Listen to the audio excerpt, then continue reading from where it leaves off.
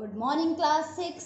This is our English book, Real English, a multi skill language core. So, dear students, last class में हमने chapter number nine और you can से poem number nine discuss की थी और आज हम एक न्यू चैप्टर डिस्कस करेंगे that is chapter number ten the red room its name is also very dangerous like the story of the poem है ना कितना डरावना सा लगता है देखने में red room it's I think this is a horror story and actually this is okay ज़्यादा कुछ नहीं कहूँगी डायरेक्टली हम रीड करते हैं सो so दैट आपका इंटरेस्ट ना खराब हो तो हम इस स्टोरी को डायरेक्टली रीड करेंगे। मुझे बहुत पसंद आई, मैंने ये स्टोरी अभी जस्ट रीड की थी तो बहुत अच्छी स्टोरी है, एकदम एक सस्पेंस थ्रिलर का कॉम्बिनेशन है। तो जैसे कि यहाँ पे कुछ पिक्चर्स दिए गए हैं, इनको देख के आपको एक आइडिया तो लग ही गया होगा कि कुछ डरावना सा स्टोरी के अंदर होने वाला है। So let's get started do you believe in ghost and other super natural powers many people do here is the story of a brave young man who decides to prove that ghost don't exist read on to find out what happen to him on that frightful night, which he spent alone inside a great haunted room in an old cafe.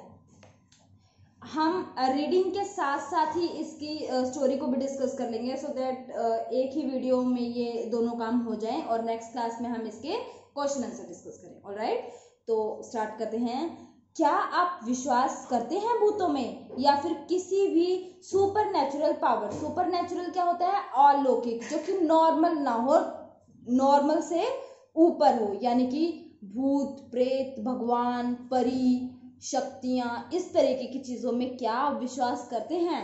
Many people do बहुत से लोग करते हैं। Here is the story of a brave young man यहाँ एक जवान बहादुर लड़के की कहानी है। Who decides to prove that ghost don't exist जो ये साबित करने की कोशिश कर रहा था, जो चाहता था जो ये साबित करना चाहता था कि भूत नहीं होते।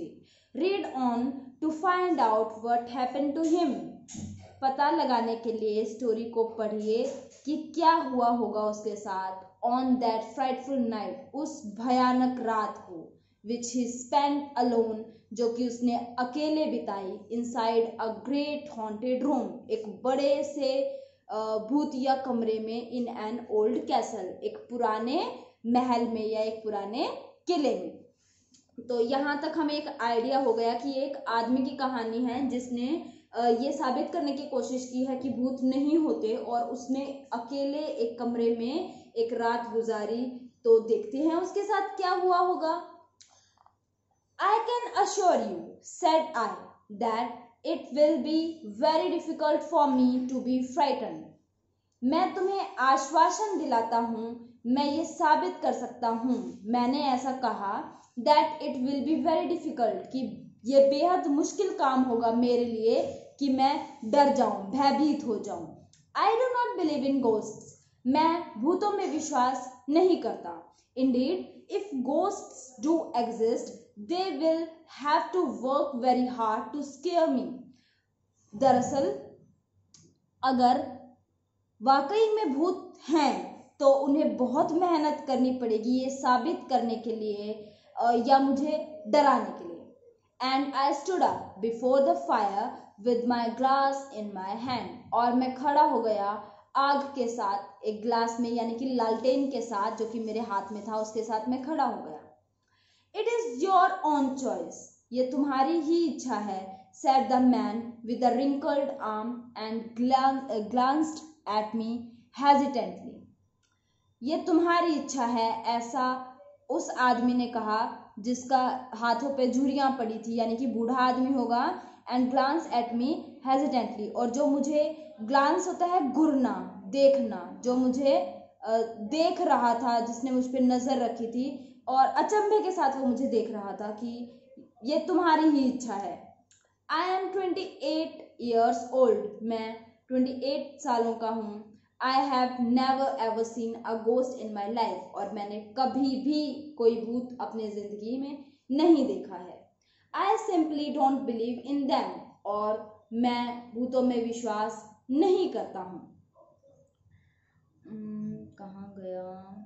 सैड आई ऐसा मैंने कहा कि मैं भूतों में विश्वास नहीं करता हूँ।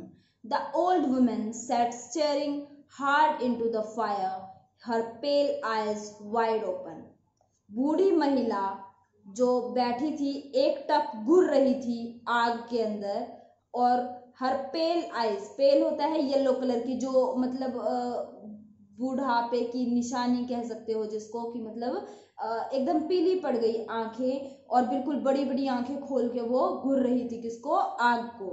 A she broke in with a monotonous tone उसने सन्नाटे को तोड़ते हुए कहा, एक बोरिंग सी आवाज़ में मोनोटोनस होता है बोरिंग तो उसने एक बोरिंग सी टोन में बोला but in all those twenty eight years you have never seen a house like this पर इन अट्ठाईस सालों में तुमने कभी भी घर नहीं देखा होगा इस तरीके का।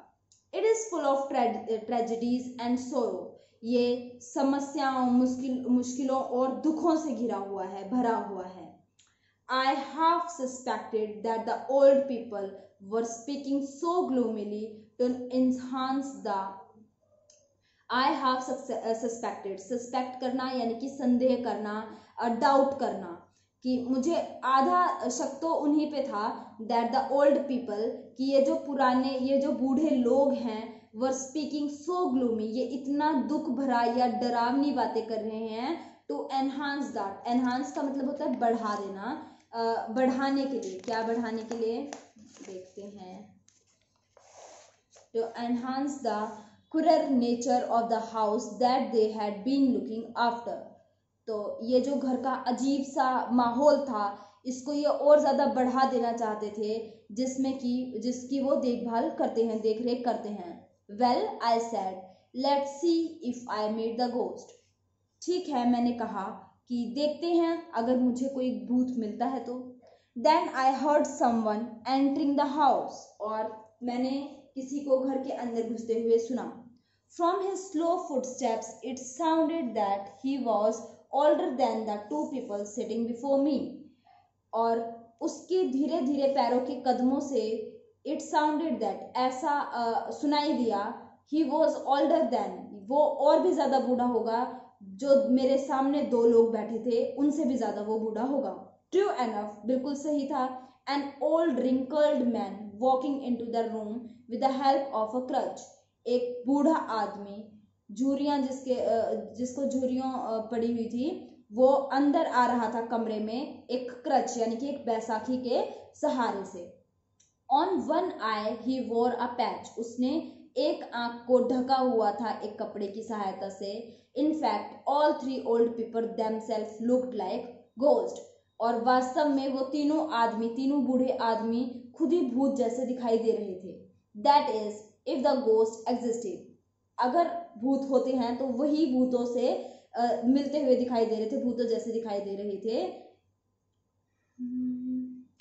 Their clothes manner and speech all belong to the past उनके कपड़े उनका व्यवहार उनका बोलने का तरीका सब कुछ पुराने समय से ताल्लुक रखता था पुराने समय जैसा था। It is your choice dear boy said the old man one more time और बूढ़े आदमी ने एक बार फिर कहा कि ये तुम्हारी इच्छा थी, बेटा। ए इट इज़ हाँ ये थी। Now please tell me where is this infamous haunted red room where I am to spend the night I ask हाँ ये मेरी इच्छा थी।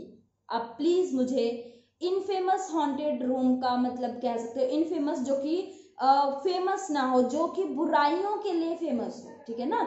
नेगेटिव सेंस में जो फ़ेमस हो तो अब मुझे रेड रूम के बारे में बताइए, उसका रास्ता बताइए, जिसमें मैं रात गुजारने वाला हूँ, ऐसा मैंने उनसे पूछा।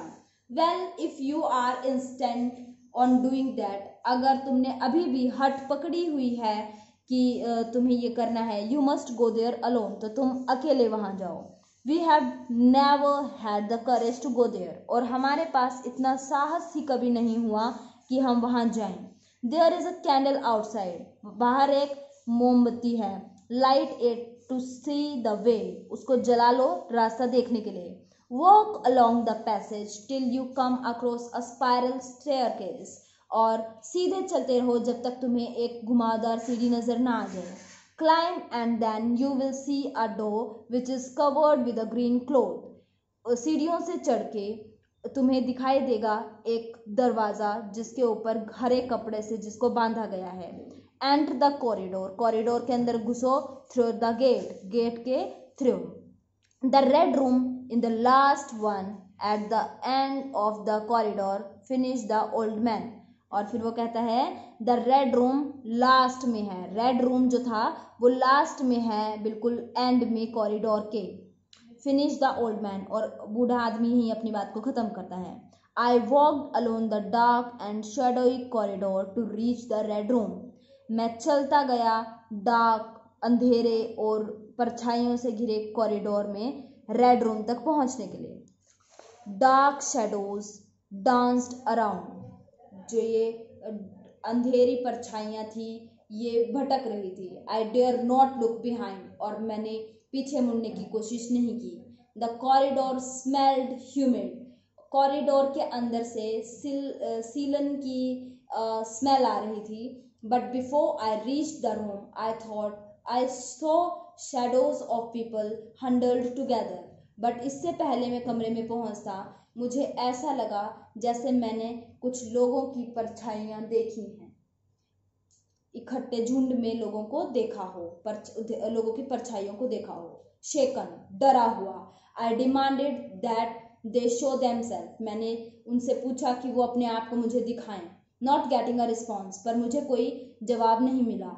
आई वेंट फॉरवर्ड मैं आगे चलता गया but it turn out to be a statue और वो एक स्टैचू प्रतीत हुआ।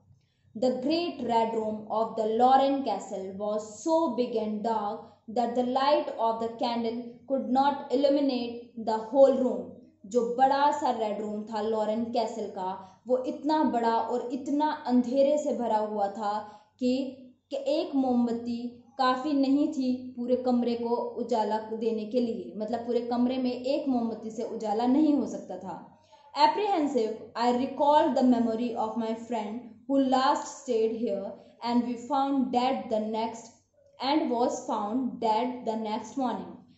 चिंतित होते हुए, डर के कारण मुझे याद आया एक याद मुझे दोबारा से मेरे दिमाग में आई अपने दोस्त की, जो कि लास्ट सबसे आखिरी में यहाँ रुका था, और अगले दिन सुबह वो यहाँ मरा पाया गया I also remembered other people who died staying in the room और मुझे ये भी याद आ रहा था मुझे ये भी याद था कि कैसे जो दूसरे लोग इस कमरे में रुके हैं वो मर गई थी। I decided to make a complete survey of the room so that nothing would surprise me मैंने uh, सोचा कि मैं पूरे कमरे को अच्छे से जाँच लूँ उसकी जाँच पड़ताल कर ली जाए ताकि कुछ भी चीज़ मुझे चकित ना कर सके डरा ना सके। Then I lit all the candles in the room and drew away all the curtains to make sure nobody hid behind them. पूरे कमरे की सभी मोमबत्तियाँ जला दी और सभी पर्दे हटा दिए ताकि ये कंफर्म किया जा सके कि कोई उनके पीछे छुपा तो नहीं है additional light was cast by the huge fireplace for which I was thankful एक और अलग से आग जलाई गई जो कि फायर प्लेस होता है, अंगीठी को बोलते हैं। तो जहाँ अंगीठी होती है, उसके अंदर आग डाली गई और जिसके लिए मैं बहुत धन्यवाद था, क्योंकि वो काफ़ी रोशनी दे देती है कमरे में। Then I sat down on a big chair और फिर मैं एक बड़ी सी कुर्पी, कुर्सी पर, एक बड़ी सी चेयर पर बैठ गया and use the table as a barricade और उसको एक रुकावट के तौर पर मैंने अड़ा लिया ताकि कोई भी मुझे कोई भी डायरेक्टली मुझ पर अटैक ना कर सके। I sat there waiting in solitude और मैं अकेले सॉलिट्यूड होता है अकेले और मैं अकेले वहाँ इंतज़ार करता रहा। I admit I gradually became increasing conscious of the shadows dancing across the room और मैं ये स्वीकार करता हूँ कि धीरे धीरे मैं और ज़्यादा सचेत हो गया, मुझे और ज़्यादा ये चीज़ें अफेक्ट करने लगी कि जो भी ये शेडोज़ कमरे में डांस कर रही थी इधर उधर मैं उनके प्रति सचेत हो गया। I felt an odd sensation of something मुझे एक अजीब सी अजीब सी चीज़ महसूस होने लगी। मे बी अ प्रेजेंस जैसे कि कोई वहाँ हो, किसी की प्रेजेंस मुझे खटकने लगी। लर्किंग अराउंड जो कि इधर उधर कुछ बुरे इरादों के साथ कमरे में घूम रही हो। आई वॉज़ सून नर्वस और मैं जल्द ही चिंतित हो गया, डर गया। Suddenly at midnight two candles blow out और अचानक से आधी रात को दो मोमबत्तियाँ बुझ गई। I dashed to relight them और मैंने जल्दी से उन्हें जला दिया। Then two more extinguished at the end of the room और कमरे के किनारे दो और मोमबत्तियाँ बुझ गई। I thought to myself I must have done that myself in my hurry to light the other तो मैंने अपने आप से ऐसा, ऐसे बातें की कि शायद मैंने ही, मैं ही इन्हें जलाना भूल गया था अपनी हड़बड़ाहट में। जल्दी जल्दी के चक्कर में मैंने ही इनको छोड़ दिया होगा। I darted to light those two but only to have but only to have more candles dying off as if they were crushed by somebody's hand और इतने में मैंने उन लाइट को जलाने के लिए छलांग लगाई, दो और मोमबत्तियाँ बुझ गई और देखते ही देखते सभी मोमबत्तियाँ बुझने लगी, जैसे कि कोई अपने हाथों से उन्हें मसल कर बुझा रहा हो। Study I comforted myself फिर गंभीर हालातों में मैंने अपने आप को आराम दिया या कंफर्टेबल होने की कोशिश की। How much to my growing apprehension तब भी मेरा डर बढ़ता जा रहा था। एपर डर the candle in my own hand blew off जैसे जैसे मेरा डर बढ़ रहा था, मेरा डर और भी बढ़ गया जब मेरे हाथ की मोमबत्ती भी बुझ गई। शेकन कांपते हुए I thought of the fireplace मैंने अंगीठी के बारे में सोचा and felt grateful for the constant light और उस लाइट के प्रति मैं बहुत आभारी था। But Much to my horror, that very moment the flames dwindled and vanished. But मेरे डर के आगे उसी क्षण वो जो आग थी वो धीरे धीरे कम होती चली गई और एकदम से गायब हो गई। यानी कि जो अंगीठी में जो आग लगी हुई थी वो भी एकदम से बुझ गई। Not able to bear it any longer और अब मैं इससे ज़्यादा बर्दाश्त नहीं कर सकता था। I ran across the room towards the door in order to get out of the room. और मैं जल्द से भागा और कमरे से बाहर निकलने की तरफ़ दरवाजे की तरफ़ मैं दौड़, दौड़ने लगा। I thought I found the door मैंने सोचा मुझे दरवाज़ा मिल जाएगा बट आई ट्रिप्ड ओवर पर मैं फिसल गया। First my chair and then the bed पहले चेयर से टकराया और फिर बेड से। Half out of my mind and crying out light aloud मेरा दिमाग आधा चल चुका था। मुझे समझ नहीं आया मैं क्या करूँ और मैं बहुत ज़ोर से रोने लगा। आई ट्राइड रनिंग मैंने भागने की कोशिश की। My last memory was of being hit by something and then falling into deep sling जो मुझे आखिरी बात याद है, वो ये कि मैं किसी चीज़ से टकराया था और फिर मैं एक गहरी नींद में चले गया। I woke up the next morning with my head bandage and surrounding surrounded by the three old people जब मैं अगले सवेरे उठा तो मेरे सर पर पट्टी बंधी हुई थी और वही तीन लोग मेरे चारों तरफ़ खड़े थे। वेयर एम आई मैं कहाँ हूँ? आई आस्ट मैंने पूछा I seem to remember you मुझे ऐसा लग रहा है जैसे मैं तुम्हें जानता हूँ। And yet I can not remember who you are पर फिर भी मैं तुम्हें नहीं पहचान पा रहा हूँ कि तुम कौन हो। They told me then and I heard of the haunted red room फिर उन्होंने मुझे अपने बारे में बताया, और आई हर्ड मैंने सुना उस लाल कमरे की, डरावने लाल कमरे के बारे में। We found you at dawn हमने तुम्हें सुबह सुबेरे पाया, सैड उन्होंने कहा। And there was blood on your forehead and lips और तुम्हारे माथे पर और होठों पर खून था। सून आई रिमेंबर और तभी मुझे याद आ गया। You believe now said the old man that the room is haunted अब तुम्हें विश्वास है, ऐसा बूढ़े आदमी ने कहा कि कमरा भूतिया है।